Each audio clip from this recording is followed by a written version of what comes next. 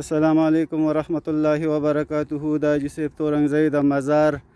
او د مسجد د دویم چت نه زه ته تاسو ته مخاطب یم او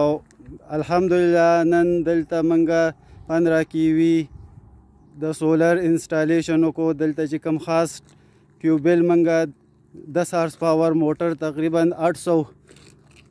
فټ اوچت منګي اوبه چک کړلې الحمدلله ثم الحمدلله هغه به او هغه زمونږ چې کومه خواري وه هغه الله تعالی اسانه کړه او موږ له د مسجد او د جومات د پاره چې کوم د اودسونو او خاص کر د دلته د زایرینو د پاره چې کوم د اوبو سهولت و هغې کې به د اړ او پاشاکال کې د اوبو د چینو د کموالي د وجې نه دلته کافي تکلیف و الحمدلله ثم الحمدلله هغه مسله به اوس د دې انسټالیشن د پندره کیوي د سولر او د دس هارس پاور د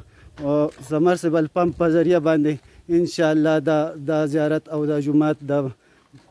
مسجد او د دې سیمې علاقې خو او شاته به ډیره فائدې والسلام الحمد